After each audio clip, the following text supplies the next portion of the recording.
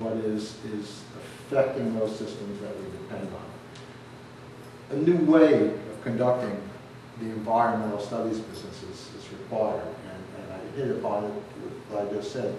It's, we use the term trans this you integrate the human dimensions, the social sciences, law, economy, with the natural sciences in such a way that we better understand the consequences of our decisions and actions.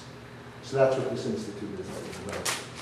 We have a new curriculum, a five-year master's bachelor's in sustainability science, and already told the administration that the moment that's approved, I'll st- start working on the prospectus for doctoral program in sustainability studies. And Montclair State University, I should mention you guys, I'll just say the following, I'll come to closure, is Montclair State University would like to continue to develop and grow, not so much space-wise, because I know it's a sensitive issue, but they want to become a tier one research university, just like Rutgers, just like uh, and JED and so on.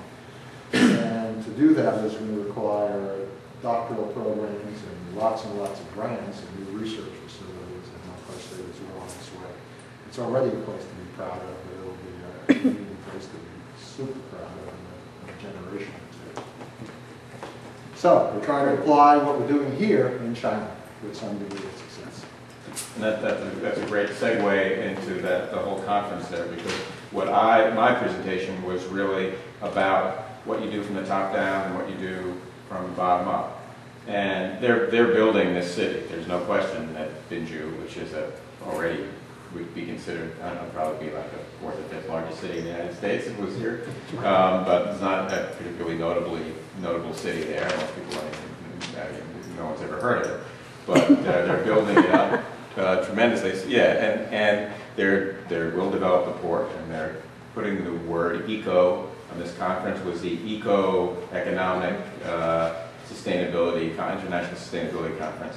And the human dimension is really what I, where I see the potential between a partnership between Montclair and Binju.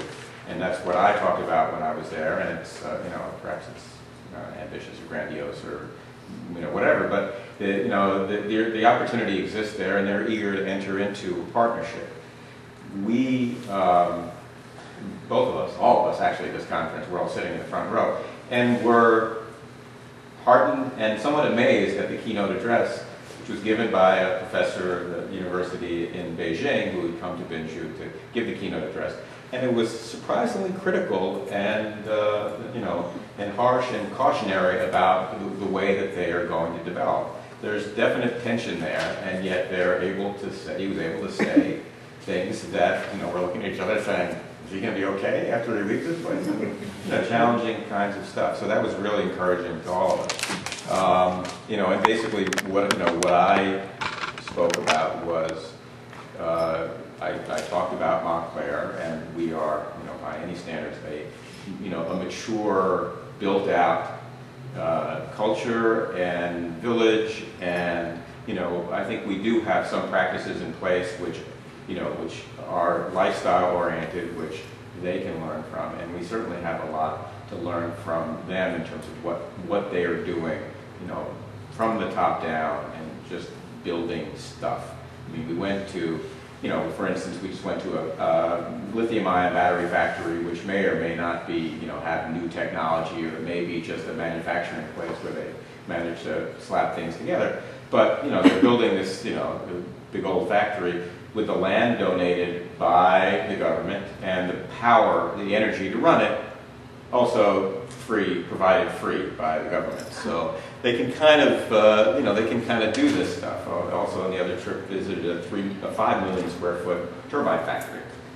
You know, picture five million square feet, that means. So they're, they're, they're doing all this stuff. They have the ability to, to build technology. Another example I talk about is Wuhan, another city no one's ever heard of. I think it's two million people.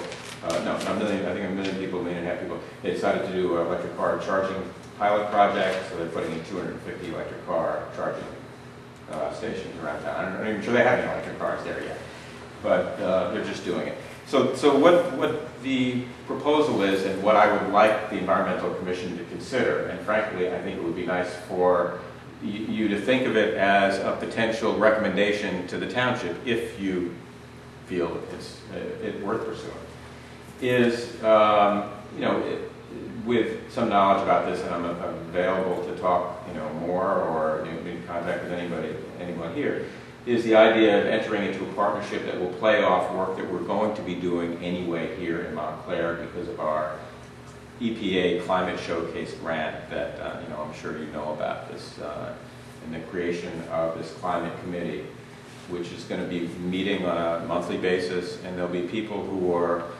uh, connected with the community, whose mission is to work with the environmental coordinator and work with our government and really branch out this mission throughout the the municipality so that people are working on different initiatives in churches, in schools, in institutions, in their homes, you know, greening your home, weather stripping, you know, uh, driving less, carpooling, who knows what, what these things are going to be. But, but it's really going to be, uh, you know, a bottom-up thing of the, of the, um, you know, related to what the Environmental Commission does, a separate, separate group.